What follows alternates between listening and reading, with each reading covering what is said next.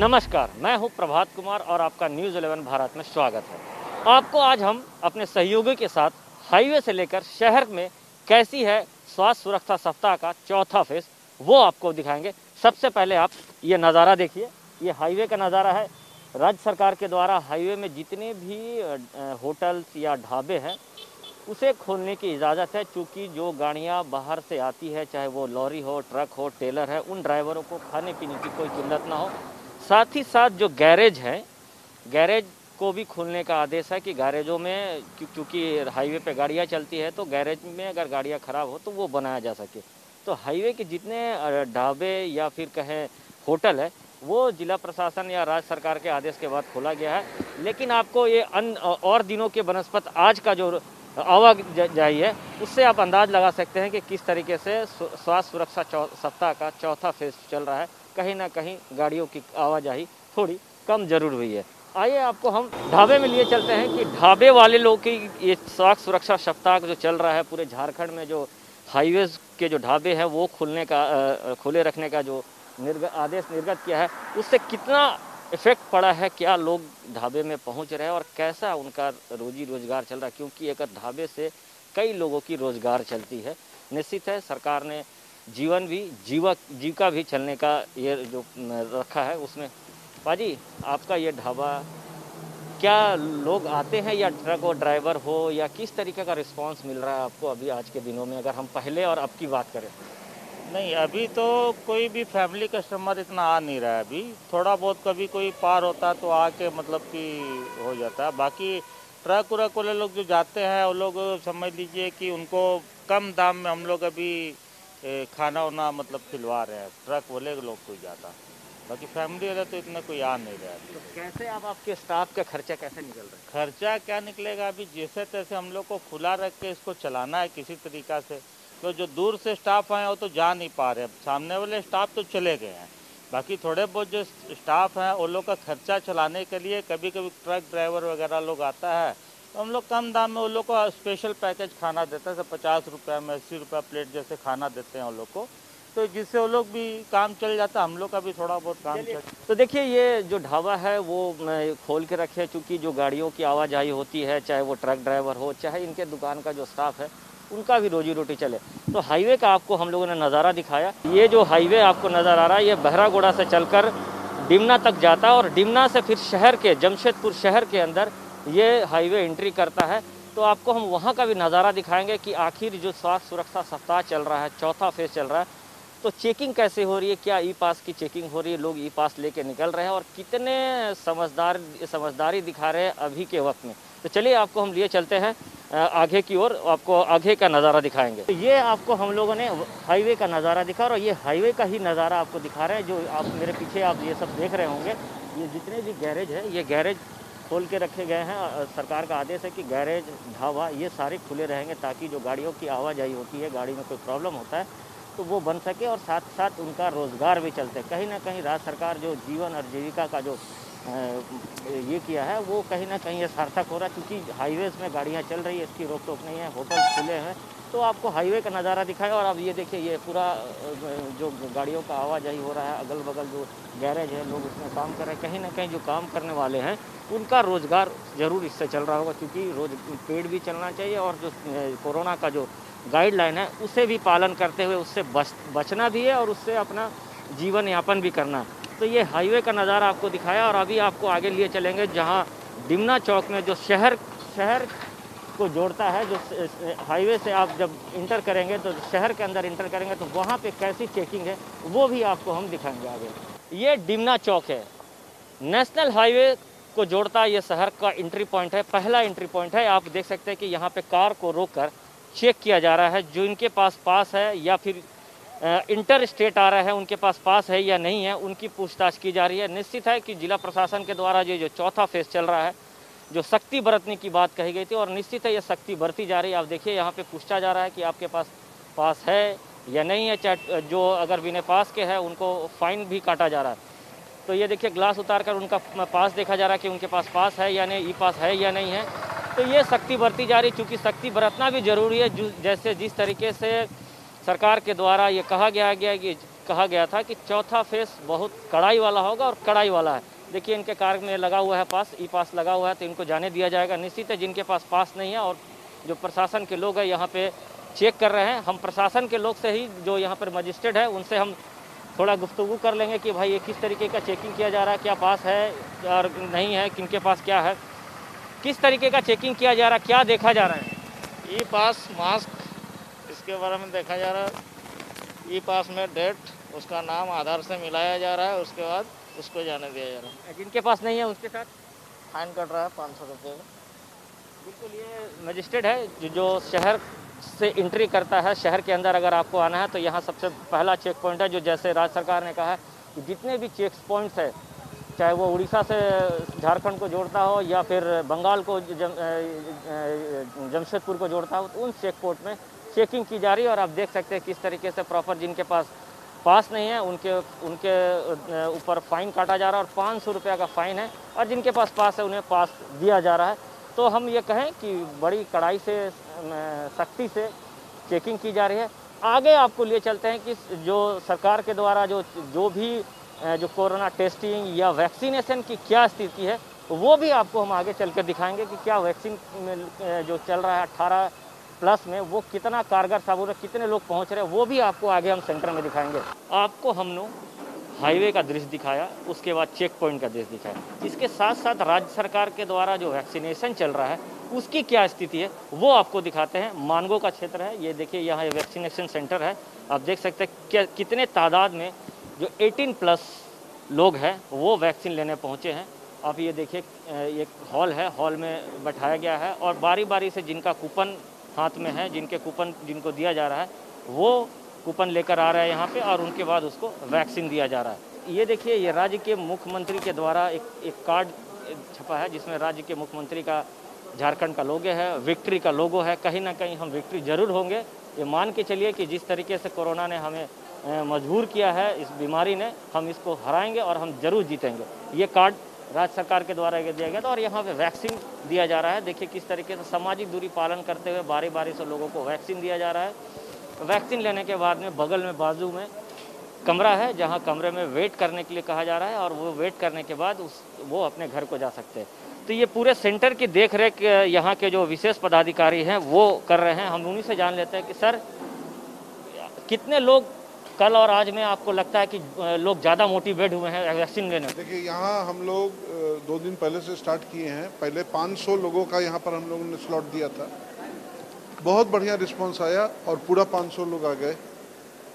फिर हमने उसको बढ़ा के साढ़े सात सौ किया। कल हम लोग का साढ़े सात सौ हुआ था। वो भी पूरा हो गया। आज हम लोग के यहाँ एक हज़ार का स्लॉट दिया गया है। और अभी एट प्रेजेंट लगभग 600 लोग ले चुके हुए हैं। शाम में छः बजे तक नौ बजे शुरू करते हैं हम लोग। शाम में छः बजे तक होता है। टोटल रजिस्ट्रेशन ऑनलाइन हो रहा है। वॉक इन नहीं है यहाँ पर। और पूरी स्लॉट्स बुकड है। मतलब ये हम ये कहें कि लोग जागरूक हो गए और वैक्सीन लेना ही एकमात्र इसका विकल्प है। डेफिनेटली डेफिनेटली बहुत जगह है रिस्ट्रिक्शंस है जो दिया हुआ है कि कौन सा दुकान खुलेगा कौन सा इस्टेब्लिशमेंट खुलेगा नहीं खुलेगा। उसके अलावा भी चोरी छुपे जो हैं जैसे कपड़े का दुकान कोई खोल लेते हैं तो वो जैसे संज्ञान में आता है और हम लोग जो मूवमेंट कर रहे हैं हमारे सिटी मैनेजर मूवमेंट कर रहे हैं तो उसको तत्काल प्रभाव से सील कर दिया जाता है। फाइन भी काटा जा रहा है? फाइन काटा जा रहा है और सील तो इमीडिएट कर दिया जा रहा है जो नहीं खुलना है सो नहीं खुलना है। तो इसलिए उस पर ये हम लोग कार्रवाई कर रहे हैं। बिल्कुल देखिए जिस तरह से इन्होंने कहा कार्रवाई करें कुछ वैक्सीन लेने आए लोग पहुँचे उनसे भी जान लेते कितना इम्पोर्टेंट है आज के डेट में वैक्सीन पूरे दुनिया में मैं वैक्सीन लेना ही मतलब सब कुछ है। मतलब इसका एक मात्र इलाज वैक्सीन ही है। वैक्सीन ही है मतलब सेफ्टी के लिए तो वैक्सीन बहुत ज़रूरी है। देखिए आज के समय में वैक्सीन ही कोरोना से बचाएगा। न्यूज़ इलेवन भी अपील करता है कि आप ज़्यादा से ज़्यादा लोग वैक्सीन सेंटर पहुँचे और वैक्सीन लिए। तो आपको हमने उन्होंने वैक्सीन सेंटर का दृश्य दिखाया। आगे आपको हम हमारे सहयोगी मनोज मानगो के बाद की आगे की क्या स्थिति है, वो हमारे सहयोगी मनोज आपको दिखाएँगे कि मानगो के बाद से जो साक्षी तक क्या स्थिति है, लोग कितने पालन कर रहे हैं ये स्वास्थ्य सुरक्षा सप्ताह का चौथा फ़ेज़ को। अभी आपको प्रभात दिखा रहे थे कि हाईवे क्षेत्र के क्या स्थिति है लॉकडाउन को लेकर, और अभी जमशेदपुर का हम दिखा रहे हैं आपको, शहर के क्षेत्र का क्या स्थिति है। लॉकडाउन को लेकर कितना लोग सजग हैं और कितना वो निर्भीक होकर घूम रहे हैं। ये सब चीज़ों पर हम आपको गौर दिख, दिखा रहे हैं फरमा रहे हैं और दिखा रहे हैं कि कितना लोग इस जिम्मेवारी पूर्वक इस अपने आप को सजग किए हैं कितना पालन लॉकडाउन का करके चल रहे हैं। तो ये पूरा दृश्य हम आपको दिखा रहे हैं। आगे आप आगे और भी दिखाएँगे कि कितना लोग लॉकडाउन को लेकर पालन कर रहे हैं। सरकार का गाइडलाइन और अपने आप को बचा रहे हैं। लॉकडाउन को लेकर कितना गाइडलाइन का पालन कर रहे हैं लोग और- कोरोना से बचने के लिए क्या कुछ उपाय कर रहे हैं लोग? ये हम आपको दिखा रहे थे। अभी हम दिखा रहे हैं आपको एक जमशेदपुर का मानगो का एक छोटा सा बाज़ार है, जहाँ ये सब्ज़ी बाज़ार लगा हुआ है, जहाँ पर लोग सब्ज़ी की खरीदारी करने के लिए देख सकते हैं कि पहुँचे हुए हैं। हालाँकि लोग अपने चेहरे पर मास्क लगाए हुए हैं। लोगों को इस इस चीज़ से बचने का ज़रूरत है, क्योंकि कोरोना हर कोई को परेशान कर रहा है तो आप ये नहीं समझे कि आपको ये परेशान नहीं करेगा। आप अपने आप को सजग रहें, जिम्मेवारी जो आपको बनती है, उसे आप पालन करें।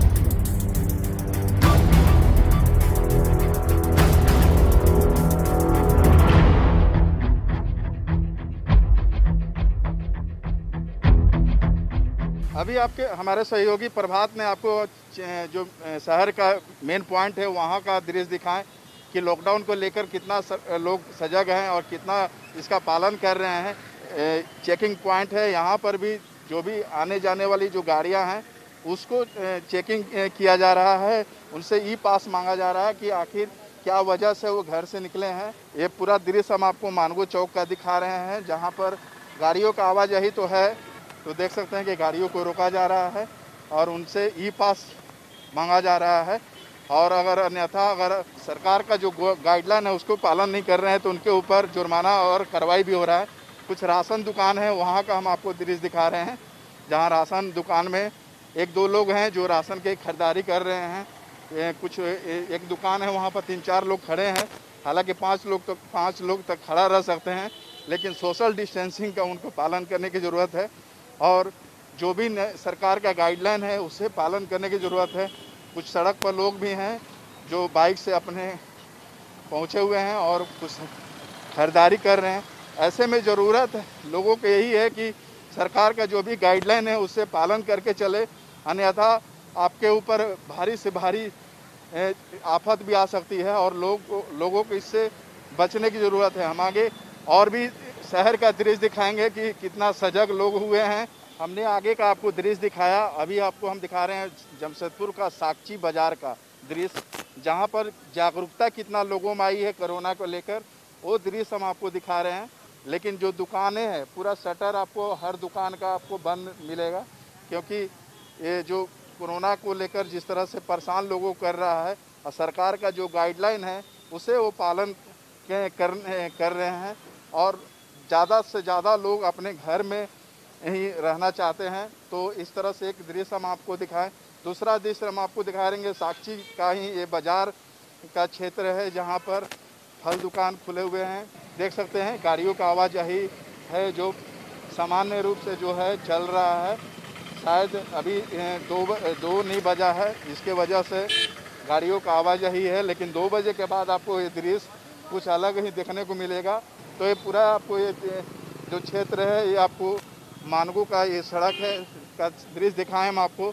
ऐसे में आपको पूरी तरह से कोरोना से बचना है तो आपको सजग रहने की ज़रूरत है और सरकार का जो भी गाइडलाइन है, उसे पालन करने की ज़रूरत है, ताकि कोरोना आपको किसी तरह से परेशान नहीं कर सके। आगे का दृश्य हमारे सहयोगी पीयूष दिखाएँगे कि शहर के और भी क्षेत्रों का क्या स्थिति है। अभी तक हमारे सहयोगी मनोज और प्रभात ने आपको हाईवे के साथ साथ मांगो का भी दृश्य दिखाया।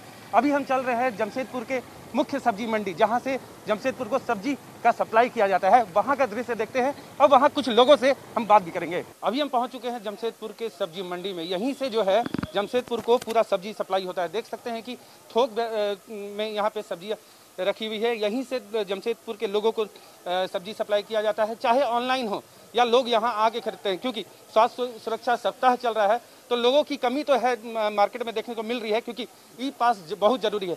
हमारे साथ जो सब्ज़ी मंडी के अध्यक्ष है बलबीर जी वो मौजूद है। अच्छा बलबीर जी, किस तरह से जो सब्जियों का दौर है, अभी चल रहा है, क्योंकि स्वास्थ्य सुरक्षा सप्ताह भी चल रहा है, लॉकडाउन लगा हुआ है तो लोग आ रहे हैं, खरीद रहे हैं, कैसी चल रही है बिक्री? बहुत ही पोजीशन वैसी तो नहीं है, मगर क्या है कि जितने भी ग्राहक है, बहुत ही कमी है और जैसे कि बंगाल में संपूर्ण लॉकडाउन है, उसके चक्कर में जो भी किसान के माल है, वो जमशेदपुर ही आ जा रहा। और उस जिस रेट जो रेट किसान को मिलना चाहिए, वो मिल नहीं पा रहा। और जिस प्रकार का किसान की जो सुविधा है, उस प्रकार की सुविधा के साथ भी इतनी मतलब कि रेट की जो स्थिति है, उस रेट में उसके भाड़ा भी नहीं उठ रही है और बहुत पोजीशन खराब है। देखिए, जिस तरह से अध्यक्ष का साफ़ तौर पे कहना है कि लोग जो हैं, कमी है, लोगों की कमी है मार्केट वो लोग कम आ रहे हैं हाँ लेकिन जिनके पास ई पास है, वो लोग जमशेदपुर जमशेदपुर के इस मंडी पे आ रहे हैं। अभी हम चलते हैं सिद्धगोड़ा का सिद्धगोड़ा की तरफ़ और देखते हैं कि क्या स्थिति है। अभी हम लोग एग्रीको गोलचक्कर में हैं। बाई और राज्य के पूर्व मुख्यमंत्री रघुवर दास का निवास है और आप देख सकते हैं कि क्योंकि समय जो है घड़ी में दो बज चुका है तो लोग जो है अब अपने घरों की तरफ़ जा रहे हैं। जो जो जो कार्यालय खुला हुआ था, जिसके जिसका परमिशन राज्य सरकार ने दिया था खोले, खोलने का तो वो दो बजे बंद हो जाता है जिसके बाद लोग अपने घरों की ओर जाते हैं। तो इसलिए लोगों की भीड़ जो है अभी यहाँ सड़कों पे दिखने को मिल रही है और अभी हम जा रहे हैं बारीडी की ओर। और ये देखने का प्रयास करेंगे कि बारीडी की क्या स्थिति है। इस समय हम पहुँच चुके हैं जमशेदपुर के बारीडी इलाके में। बारीडी इलाका वही इलाका है जहाँ पे एक तरफ़ जो है एक छोर टिस्को इलाका हो गया और दूसरा छोर जो है वो गैर टिस्को इलाका है, यानी उसको भी जो लोग हैं यहाँ पे, जो यहाँ के स्थानीय हैं, उसको ग्रामीण क्षेत्रों में जोड़ते हैं, क्योंकि वहाँ पे भी जो जो कोरोना मरीज़ की संख्या है, वहाँ पे बहुत कम निकल रही है हाँ लेकिन वैक्सीनेशन का काम जो है, वहाँ पे जोरों जोरों है, क्योंकि वहाँ के लोग जो है सजग है, वहाँ के लोग घरों से बाहर नहीं निकल रहे, लेकिन यहाँ पे जो है लोग घर से बाहर निकल रहे हैं कि आगे में जो है सोशल डिस्टेंसिंग मेंटेन नहीं किया जा रहा है, सब्ज़ी बिक्री है, और लगातार वहाँ पे दुकानें भी खुलती है, खुली है। अब आगे आगे का जो शहर का नज़ारा है, वो हमारे सहयोगी प्रवीण दिखाएँगे। दर्शकों, अभी हमारे सहयोगी पीयूष के द्वारा आपको दिखाया जा रहा था कि बारीडी और सिद्धगोड़ा क्षेत्र का क्या दृश्य है। स्वास्थ्य सुरक्षा सप्ताह के तीसरे चरण में लोग इसका किस तरह से पालन कर रहे हैं? और अभी हम मौजूद हैं बिष्टुपुर क्षेत्र में जहाँ से जुगसलाई थाना क्षेत्र का ये बॉर्डर है। और अगर हम बात करें तो ये मुख्य सड़क होते हुए सीधे आप साक्षी की ओर निकल जाएँगे। और अगर हम इस, तरफ़ की अगर हम बात करें तो हम सरायकेला ज़िले की तरफ़ कूच कर जाएँगे। ये एक ऐसा क्षेत्र है जहाँ टाटा मेन जो टाटा टिस्को का जो मुख्य गेट है मुख्य प्रवेश द्वार है इस स्थान पर है जहाँ मजदूर वर्ग के जो लोग हैं दो बजते ही अपने अपने घर को वो कूच करते हैं। तो आप देख सकते हैं कि जितने भी फल वाले जो ठेला चालक हैं और जो विक्रेता हैं, वो अब अब धीरे धीरे दो बजते ही उनका मूवमेंट जो है, वो घर के तरफ़ हो जा रहा है ताकि वो जितने जल्दी हो सके, क्योंकि तीन बजे तक का जो समय है मिला है तो तीन बजे तक उनको किसी तरह से अपने घर पहुँच जाना है। और जिस क्षेत्र में हम पहुँचे हैं, यह क्षेत्र जुगसलाई होते हुए हाता, सुंदरनगर हाता होते हुए, ये सीधा ओडिशा बॉर्डर की तरफ़ और और बंगाल बॉर्डर से भी सटा हुआ क्षेत्र है। अब हम आपको सीधे आगे के चेकनाके की तरफ़ ले जाएँगे कि चेकनाके का क्या दृश्य है, क्योंकि उस, उसी से सटा हुआ ओडिशा बॉर्डर भी है और उसी से सटा हुआ बंगाल बॉर्डर है। तो अब हम सीधे कूच करते हैं चेकनाका की तरफ़। और अब हम सीधे जा रहे हैं स्टेशन की ओर, यानी जुगसलाई क्षेत्र होते हुए आप देख सकते हैं, जो दृश्य जो है, मजदूर वर्ग के जो लोग हैं, वो अब सीधे तीन बज रहा है और अपने घर की तरफ़ कूच कर रहे हैं। कहने का मतलब है, स्वास्थ्य सुरक्षा सप्ताह के तहत दो बज, दो बजते ही सभी को अपने घर की तरफ़ मूवमेंट कर जाना है। तो ऐसी परिस्थिति में मजदूर तबके के जो लोग हैं, क्योंकि टाटा स्टील ने भी साफ़ कर दिया है कि उनको जो पास दी जा रही है, पास की जो वैलिडिटी है वो सिर्फ़ और सिर्फ़ सुबह छः बजे से दो बजे तक जब जिला प्रशासन के द्वारा जो समय अवधि दिया गया है उसी के दौरान है। अगर उस पास का वो मिसयूज़ करते हैं तो उनकी जो अ, उनका जो वेतन है उसमें कटौती होगी तो इसे भी लेकर अब कर्मचारियों में जो है ये काफ़ी एक अ, मतलब ज़िला प्रशासन के द्वारा जो स्वास्थ्य सुरक्षा सप्ताह चलाया जा रहा है उसका पालन जो करना है किस तरह से करना है उसे लेकर वे भी काफ़ी सजग अब हम सीधे स्टेशन की तरफ़ चलते हैं और आपको दृश्य दिखाते हैं किस तरह से वहाँ का हाल है। और इस सब में हम मौजूद हैं टाटा नगर रेलवे स्टेशन के बाहर। जी हाँ हम आपको जो दृश्य दिखा रहे हैं कि टाटा नगर रेलवे स्टेशन में भी जहाँ एक तरफ़ इस कोरोना काल से पहले लोगों का जमावड़ा लगे रहता था, लोग जो हैं लगातार यात्री जो यहाँ खचाखच भरे रहते थे, लेकिन आज जो स्थिति है वो बिल्कुल विपरीत है, क्योंकि स्थिति जो है वो दिन प्रतिदिन विकराल होते जा रही है। ऐसे में आप देख सकते हैं, यात्री जो हैं वो गिने चुने यात्री ही निकल रहे हैं और पूरी तरह से यात्रियों का जो है वो गैप है कि नहीं, सोशल डिस्टेंस का पालन हो रहा है कि नहीं, सामाजिक दूरी का पालन हो रहा है कि नहीं, ऐसे तमाम बातों का ख्याल जो है रेल प्रबंधन के द्वारा रखा जा रहा है। आप देख सकते हैं कि अंदर हम अपने सहयोगी अनवर से कहेंगे कि वो अपने कैमरे को जूम करें और दिखाएँ कि किस तरह से जो हैं रेल के कर्मचारी जो हैं, वो एक एक यात्रियों की जाँच कर रहे हैं। और कोरोना का संक्रमण को ना फैले इसे लेकर तमाम हिदायत दी गई है। तमाम सुरक्षा के दृष्टिकोण से रेल प्रबंधन के द्वारा कदम उठाए गए हैं।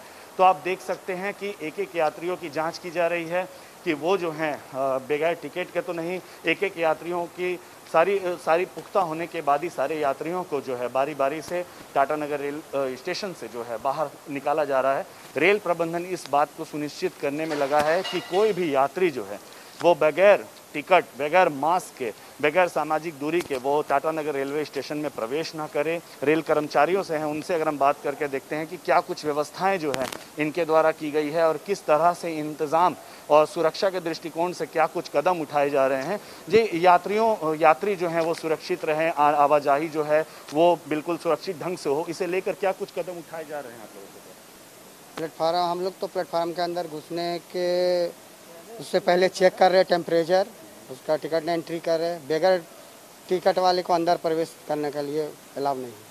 अच्छा अगर अभी थोड़े दिन पहले की बातचीत हो रही थी कि जो भी जितने भी यात्री आ रहे हैं सबका कोरोना जाँच हो रहा है तो उसके लिए क्या कुछ व्यवस्थाएँ की गई? उसके लिए तो गवर्नमेंट सरकार अपना वो व्यवस्था पूरा रखी है बगैर चेक किए बाहर जाने रोज़ाना यात्रियों की जाँच? रोज़ाना हो रही है। तो रोज़ाना यात्रियों की जो है इस स्थान पर जाँच हो रही है ताकि कोई भी यात्री अगर वो संक्रमित है, उसके अंदर लक्षण है तो वैसे यात्रियों को चिन्हित कर उन्हें उन्हें होम आइसोलेट किया जाए ताकि संक्रमण का जो फैलाव है रुका, रुके, बेवजह यात्री ना निकलें। जो भी यात्री सफ़र कर रहे हैं, वो अपने पास टिकट रखें या फिर जो रीज़न अगर उनके पास अगर कारण है, पुख्ता कारण है, तभी वो यात्रा करें। टाटानगर रेलवे स्टेशन की अगर हम बात करें तो यहाँ जितने भी यात्री आ रहे हैं, प्रवेश द्वार पर आप देख सकते हैं, रेल कर्मचारी बैठे हुए हैं। बगैर मास्क के किसी को प्रवेश करने नहीं दिया जा रहा है। और जो यात्री आ रहे हैं, उनके पास टिकट है कि नहीं, कारण जो है वो पुख्ता है कि नहीं, अगर इसी बीच कोई यात्री संक्रमित पाया जाता है। तो उस यात्री को होम आइसोलेट करना है या फिर उनको क्वारंटीन करना है। इसके लिए व्यवस्थाएँ जो हैं जिला प्रशासन के द्वारा सुनिश्चित की गई है। तो ये जो है, तमाम ऐसी कोशिशें की जा रही है कि हर व्यक्ति सुरक्षित रहे।